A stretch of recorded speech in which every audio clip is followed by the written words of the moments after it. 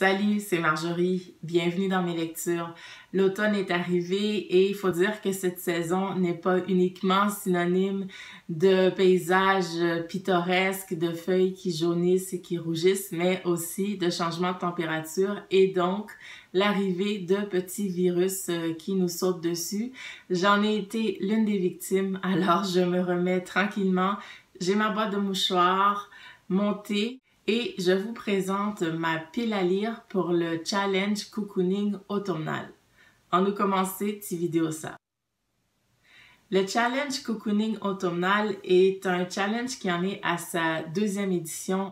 Il a été initié l'an dernier par la booktubeuse Mademoiselle Candy Shy au boudoir. Je vous laisse en barre d'infos la vidéo où elle saura vous expliquer mieux que moi les petits règlements pour participer à ce challenge.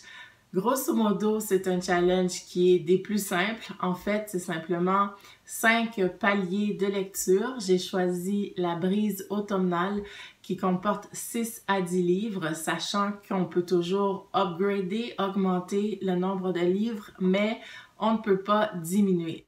Et il y a également cinq menus au choix. Chacun des menus comporte des sous-thèmes. J'ai choisi le menu numéro 1, Coucouner sous le plaid. D'abord, en tant que québécoise, le plaid, pour moi, c'était pas évident. J'en ai déduit que c'est une couette ou un jeté.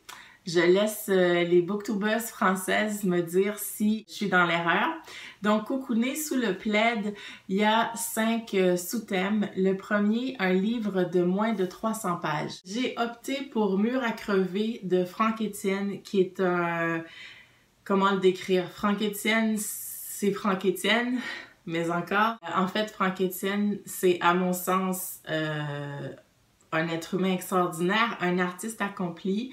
Je crois d'ailleurs que c'est lui qui a fait la page couverture euh, de ce bouquin.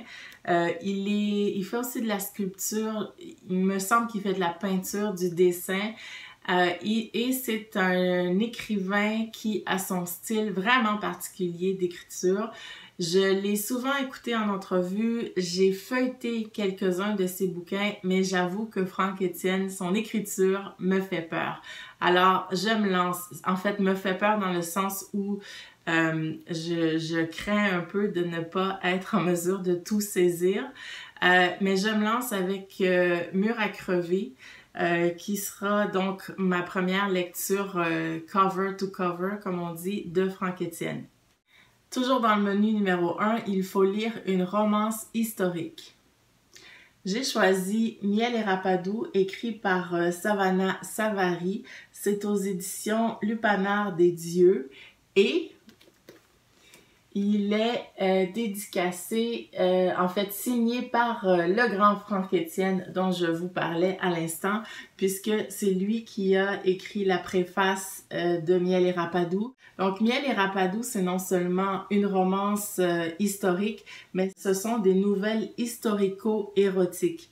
Donc on est même un peu plus loin que la romance. Et j'ai très hâte de vous en reparler. J'ai commencé à lire quelques nouvelles mais je dois dire qu'il faut y aller au fur et à mesure pour pas faire euh, un trop plein. Euh, donc, je vous en reparle euh, très prochainement. Le menu numéro 1 commande également de lire un roman fantastique. J'ai choisi Les cloches de la brésilienne de Gary Victor.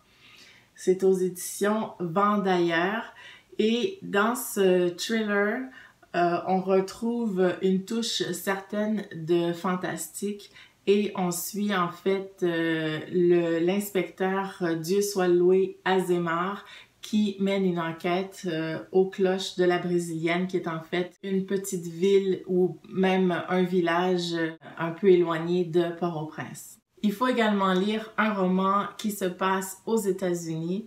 Et là, je dois dire que j'ai eu beau chercher dans ma bibliothèque euh, sur Internet, j'ai pas trouvé de roman écrit par un auteur ou une autrice originaire d'Haïti dont l'histoire se déroulerait aux États-Unis. Alors, je triche un peu, mais je pense que ça compte quand même.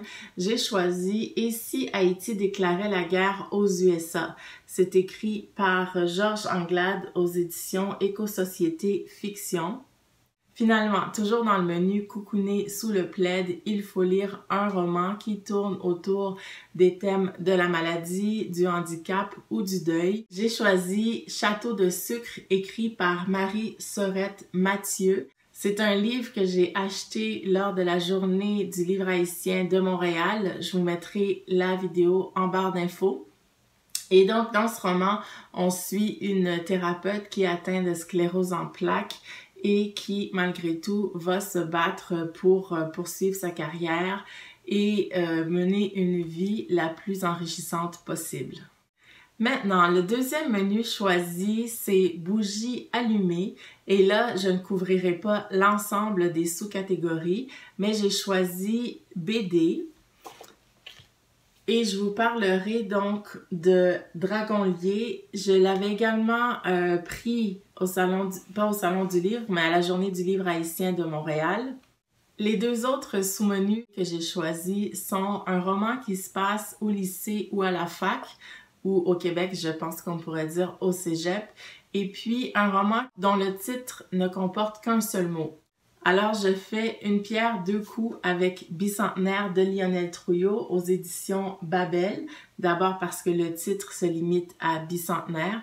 Et également, dans ce roman, on suit euh, la trajectoire d'un jeune, je crois qu'il est lycéen, qui se rend à une manifestation organisée dans le cadre du 200e, 200e anniversaire euh, de l'indépendance d'Haïti. Et donc, on est dans un univers euh, estudiantin, bien que ça ne se passe pas directement à l'école, mais je pense que ça va le faire. Voilà, ça fait le tour pour ma pile à lire du challenge cocooning automnal. J'avais hâte de vous présenter ma pile à lire et je dois dire que je l'ai montée avec un petit degré supplémentaire de difficulté, je crois, parce que